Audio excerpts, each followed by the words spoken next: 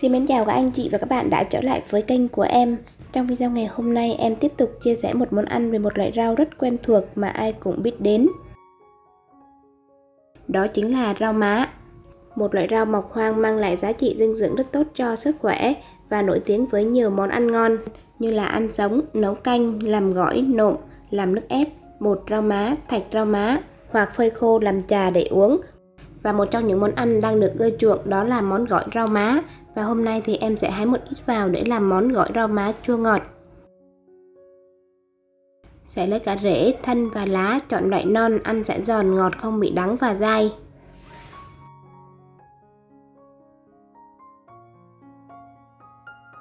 Và để làm món gỏi rau má chua ngọt hôm nay ở đây thì em có kết hợp với một số loại rau củ như sau.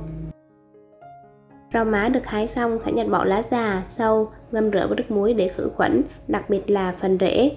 Sau đó rửa lại với nhiều lần nước tới khi sạch và vẩy cho rau nước. Lượng rau má sẽ dùng theo nhu cầu của gia đình nhé. Và để làm cho 8 tới 10 khẩu phần ăn, hôm nay thì em sẽ kết hợp với một cái bắp cải cỡ 500g. Em sẽ bỏ lớp màu xanh bên ngoài. Sau đó thì rửa sạch. Nếu bắp cải mua ngoài chợ thì các anh chị và bạn nên ngâm qua nước muối để khử khuẩn một củ cà rốt 250g bào sạch vỏ, rửa sạch hai củ hành tây 200g ớt cay tùy theo khẩu vị của gia đình. Hai củ tỏi. Một ít rau mùi. 100g đậu phộng rang sẽ thơm. Một chén con nước cốt chanh. Các anh chị và bạn có thể thay bằng giấm ăn. Tiếp theo, đối với hành tây sẽ thái sợi ngang hoặc là dọc theo sở thích.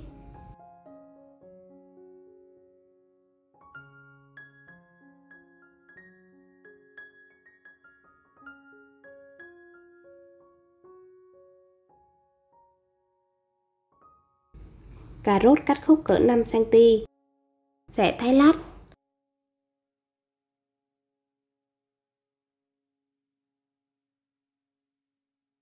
rồi thái sợi.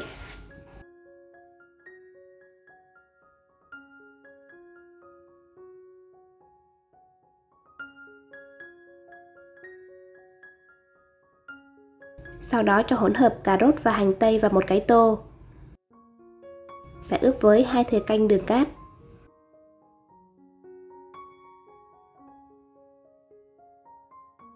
bốn thìa canh nước cốt chanh hoặc là giấm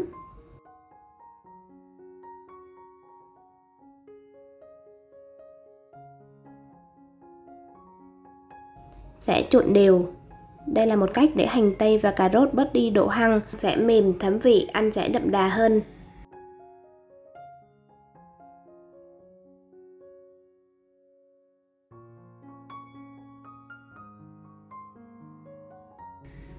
và sẽ ướp trong khoảng thời gian là 30 phút. Đối với bắp cải sẽ thái sợi ngang hoặc là dọc theo chiều.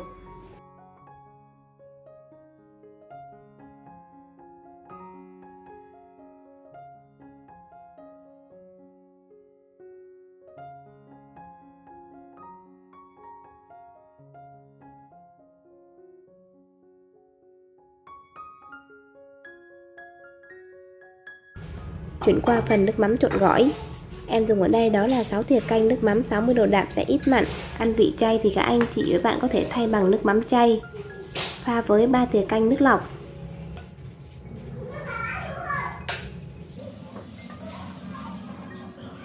Bốn thìa canh nước cốt chanh.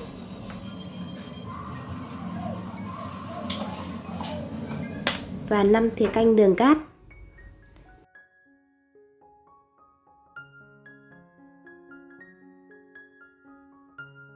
Một thìa cà phê bột ngọt.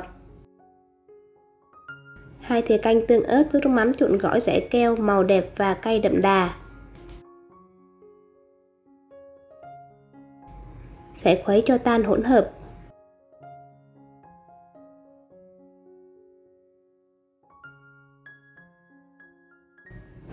Rồi cho tỏi ớt băm vào.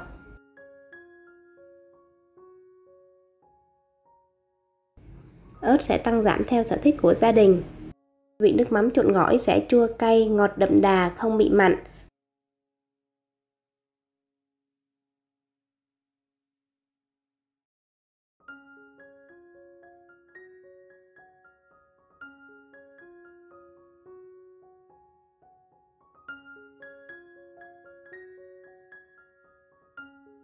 Phần nước mắm trộn gỏi đã được làm xong, bây giờ sẽ chuyển qua công đoạn trộn gỏi.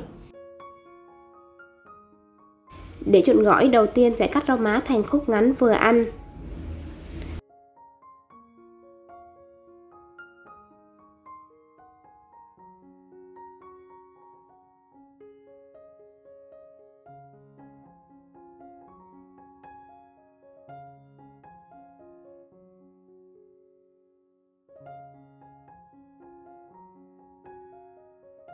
Rau mùi cắt khúc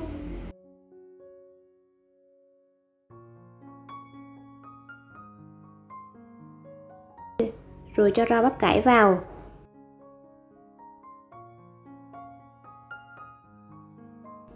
Và rưới từ từ nước trộn gỏi.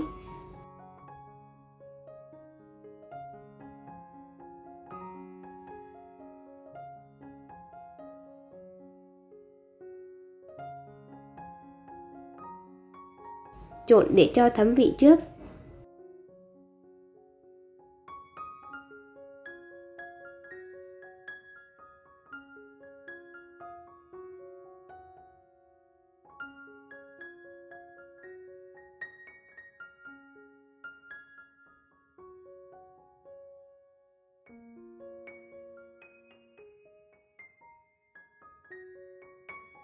Sau đó cho hành tây, cà rốt đã ướp vào và sẽ trừ lại phần nước.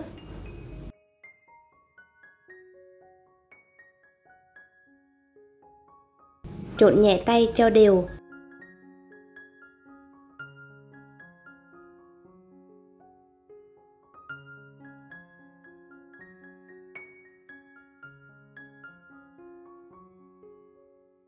Đồng thời sẽ nêm lại phần nước trộn gỏi sao cho vừa ăn.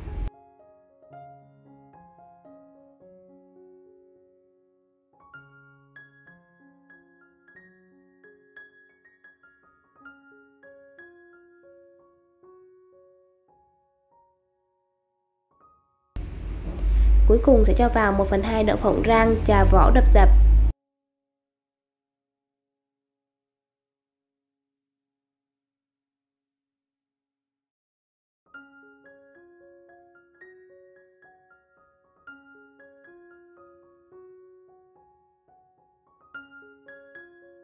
Món gỏi đã vừa vị sẽ cho ra đĩa.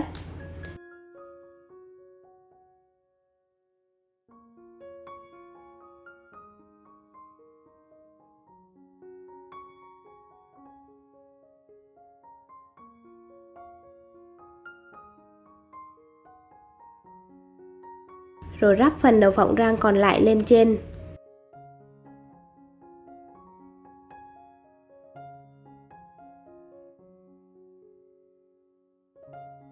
Khi ăn nếu thích thì các anh chị và các bạn có thể chấm thêm nước mắm chua ngọt, ăn kèm với bánh phồng tôm hoặc là bánh đa đều ngon. Vậy là em đã vừa hoàn thành xong món gỏi rau má chua ngọt.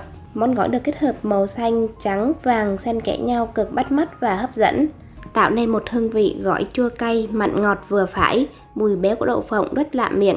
Đây là món gỏi có cách làm rất đơn giản từ những nguyên liệu dân dã lại ngon miệng kích thích vị giác, giúp giải ngán cho các món ăn nhiều dầu mỡ.